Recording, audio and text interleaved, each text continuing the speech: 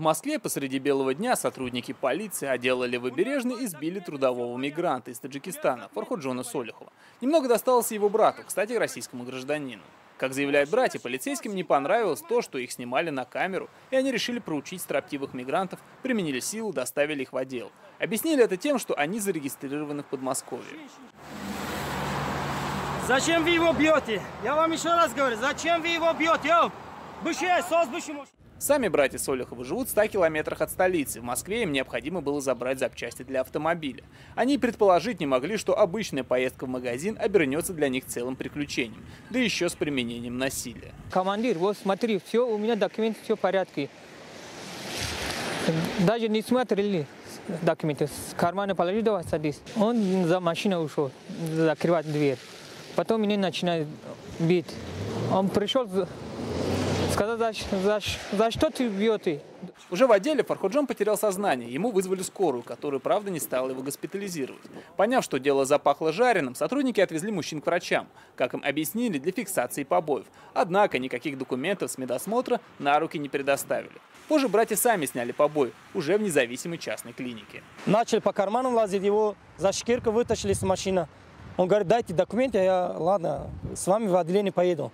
Начали они его за шкирку таскать. И ему документы не давали. Пока патрульные машины таскали, его избивали. Ну, так более-менее, так у него под глаз шишка был, генатом или как там. Я пока заявление писал, он ходил, туалет что ли попросил, я не знаю, я занят был своим делом. Он ходил в туалет, обратно вышел и упал в обморок там прямо.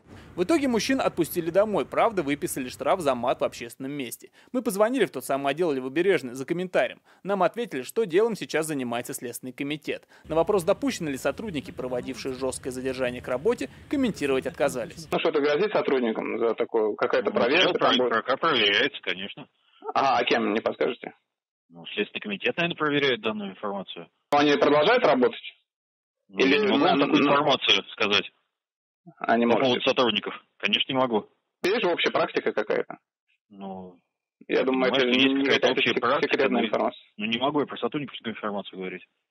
С момента задержания дело находится под контролем правозащитников. Сейчас собираются все необходимые документы для обращения в суд.